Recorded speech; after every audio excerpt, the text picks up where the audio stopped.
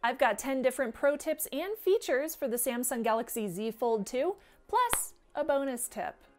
Hey s'mores, I'm Shannon Morse. Welcome to Morse Code. I've had the Z Fold 2 for about a month now, and I've got some really cool features that can help you take full advantage of the device. So here are my top 10 pro tips for the Samsung Galaxy Z Fold 2, plus a bonus tip from the Samsung community. Number one, one of the first things that I noticed is that each display can have a different home screen. So I put a narrow wallpaper on the cover display and I move some simpler apps to that home screen. On the folding display, I use a widescreen wallpaper and I put a bunch of my productivity apps on the home screen there.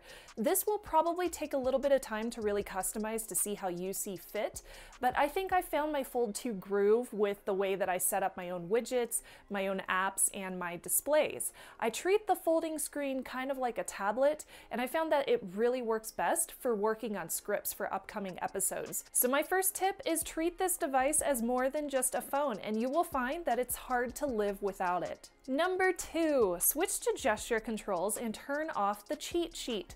Recent Android operating systems have very intuitive gestures, and now muscle memory has me swiping up from the app launcher or down with two fingers for my whole setting screen, and up and over from the bottom for my most recent apps, just to name a few. I also swipe from the corner for Google Assistant.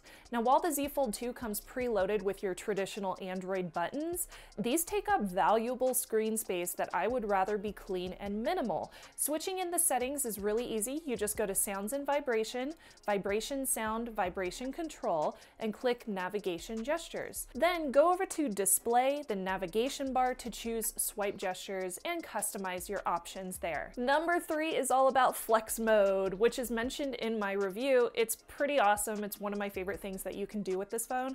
I will use YouTube as an example. Flex mode will take me from a display showing the currently playing video next to a playlist, but when it's folded to a 90 degree right angle, it switches to show the YouTube video at the top with the description and the comment section down at the bottom. The camera app goes from showing you a full screen live view from your rear lenses to a side by side of your lens view plus a gallery preview so you can actually see the picture. Number four, if you want to watch a YouTube video on the cover screen, you can set your phone in well, I like to call it tent mode, from closed mode, where you're just checking out the cover display, open the app that you want to watch, then position the phone like it's set up like a tent. The video will automatically rotate. Now, this is commonly used in two-in-one laptops, but it can also be used for the Fold 2 as well. And number five, there are a few cool things that you can do with the camera lenses. So the first one of these is using the cover display as a live dual preview for your subjects. There's a little icon for the cover preview up in the corner when the camera app is open on the folding screen, on the inside screen. This icon will turn on the cover preview so that you can take a photo with the back lenses of your subject and your subject can see a preview on that cover screen right next to the lenses. Just make sure that when you're taking those photos, you don't cover up the preview with your hand while you're holding the phone. I found that sometimes I would do that. And now for number Six. then there is the selfie live preview. If you have the phone closed, you can use the rear camera as your selfie camera, and here's how. Open the camera app on the cover screen and then click the little icon that says selfie. Fully open the phone and then you can use the rear cameras for your selfie photos. Just make sure to look in the lenses whenever you take the photo, not in the display, and here's a little bit of a difference that you can see there. You definitely want to make sure you're looking in the lenses. You can see that there is a difference. And number seven, in the settings, click display, then choose continue apps on cover screen. Instead of locking your phone whenever you close it, this option will keep specific applications open whenever you close your phone. It's not available for all apps, but it can be useful for some of them. So for example, I have this set for YouTube, so if I'm watching a video on the folding screen, I can then close my phone and the video will continue to play on the cover display with no pause and no lag. It just continues on its own. And number eight, make sure to go under General Management and choose Language and Input, then on-screen keyboard, then your Samsung keyboard. From here, you can customize the layout and the size of your keyboard, which I wanted to mention since this is such a different size of a display. It will take some time to get used to, so save yourself some work and make it work for you.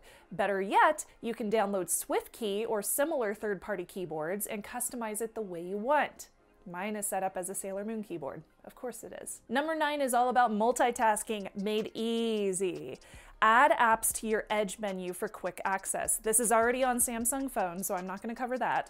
But the Fold 2 is unique in that you can have up to eight different apps pulled up on the screen at one time on that folding screen, as if you were kind of working on a desktop computer. And here's how you do that. Drag and drop your applications from the edge to the middle of the screen. This will drop them into a pop-up view. Pop-ups can be moved around the screen just like this. It's very easy. You just hold down and move them.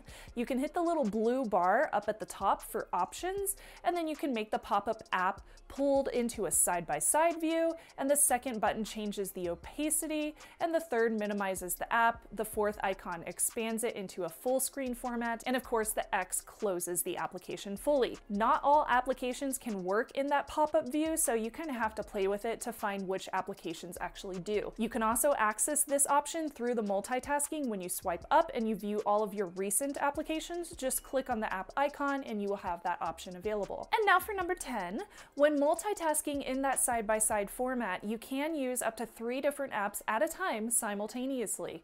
Click the bar in each of those apps, then click the side view icon. You can then move the three apps around as you see fit.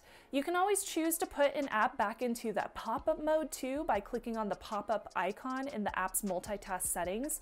And if you want to hit the three little dots on the multitasking pane frame, then click the little icon that has a plus in it to add this layout to your edge bar menu. You can then easily open the three apps in the same layout at any time in the future. It will save that for you.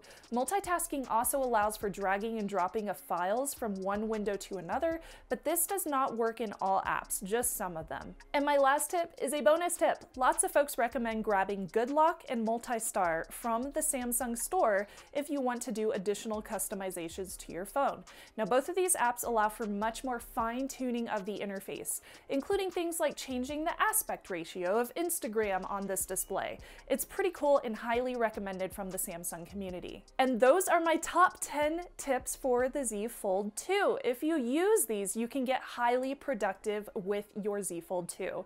If you are new here, subscribe to become a part of this amazing community, and make sure to check out my Patreon and Buy Me a Coffee links down below to see how you can support this channel. And I did want thank my newest s'mores on Buy Me a Coffee. That includes Craig M and someone, someone anonymous, and on Patreon, Phil D. Thank you to each of you. Thank you so much for your support. Comment below and let me know if you have found any cool tips or hacks for the Z Fold 2. I would love to know more about them.